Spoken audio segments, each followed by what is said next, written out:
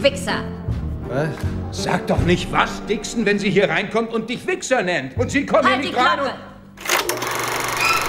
Pöni TV. Hallo zusammen, hier ist Hans-Ulrich Pöni Pönack mit Pöni TV. Unser Film in dieser Woche, Three Billboards Outside Ebbing, Missouri. Sie sagen zu einem Gesetzeshüter auf seinem eigenen Revier nicht Arsch, Mrs. Hayes. Und irgendwo anders auch nicht. Woher kommt die neue Gesinnung, Dixon? Hat Mama dir das eingetrichtert?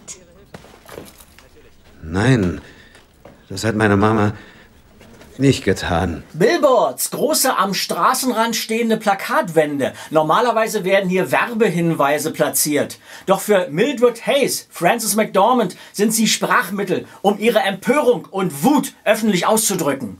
Mildred Haste, warum haben Sie die Billboards aufgestellt? Meine Tochter Angela wurde vor sieben Monaten auf diesem Straßenabschnitt ermordet. Ihre 20-jährige Tochter wurde hier, nahe der Kleinstadt Ebbing im Bundesstaat Missouri, vor sieben Monaten vergewaltigt und ermordet. Ein Täter wurde bislang nicht ermittelt. Deshalb setzt die Mutter jetzt die Polizei so unter Druck. Noch keine Verhaftung. Ich wüsste gern, warum nicht. Weil es keinen Gott gibt und die Welt trist ist und es egal ist, was wir einander antun? Ich hoffe nicht.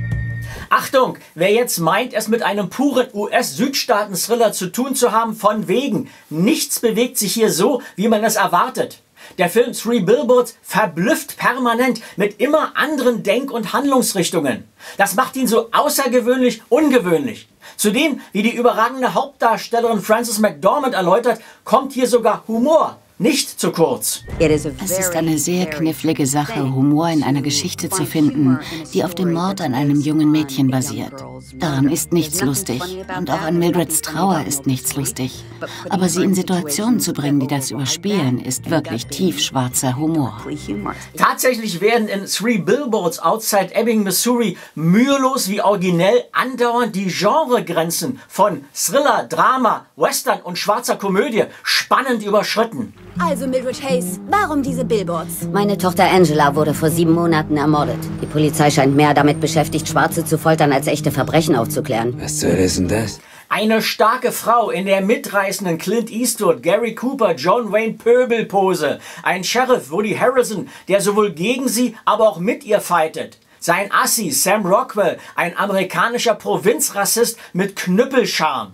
Three Billboards ist ein Meisterwerk, das für sieben Oscars nominiert ist. Die atmosphärische Brillanz ist atemberaubend. Jede Sekunde von den 115 Minuten zählt hier ohne Unterbrechung. Unglaublich! Diese Reporterin hofft, dass das endlich das Ende bedeutet. Für diese sonderbare Geschichte der drei Billboards. Scheiß bedeutet das, du behinderte Kuh. Das ist erst der verkackte Anfang. Sende das mal in deiner Guten Morgen Missouri Frühstücksfernsehen. Scheiße, du Miststück. Fünf Pönis für einen Spitzenfilm der Extraklasse. Three Billboards Outside Ebbing, Missouri ist ein muss man unbedingt gesehen und erlebt haben Movie.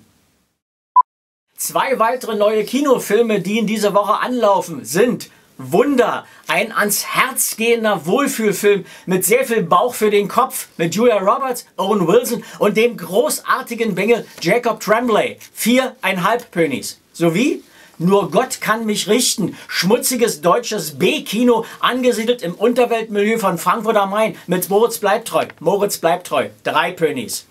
Ausführliche Textkritiken zu diesen, aber auch zu über 4000 anderen weiteren Filmen stehen auf meiner Webseite www.pönack.de, worüber auch mein wöchentlicher Newsletter zu abonnieren ist. Und wir freuen uns weiterhin über viele Abos und Kommentare, auch gerne umgekehrt. Für die nächste Woche ist noch nicht alles gesehen, schauen wir also mal. Bis dahin, gute Grüße. Tschüss.